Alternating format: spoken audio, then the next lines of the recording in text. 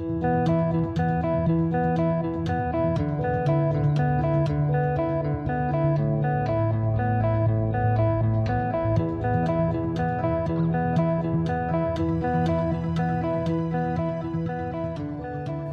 Colorado Springs Veterans Affair Outpatient Clinic was recently renamed after a Colorado Springs resident. Private First Class Floyd K. Lindstrom, who was a World War II Medal of Honor recipient. This state of the art healthcare facility provides its patients access to the best clinical treatment available with an overall design approach second to none. The design solution is rooted in the big idea concept of celebrating the open vista to the mountains beyond. The atrium, its clerestory, and the roof above are all angled to mimic and be the starting point for the Mountain Vista lawn.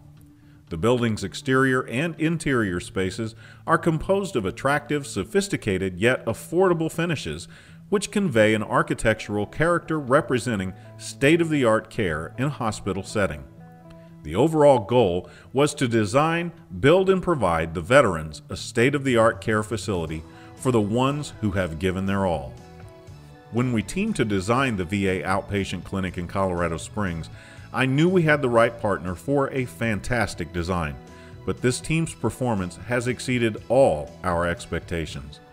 This team led us through a complex process in a very organized manner I'm very satisfied with this project and how we closed on time, within budget, and represent the new standard for VA clinics across the country.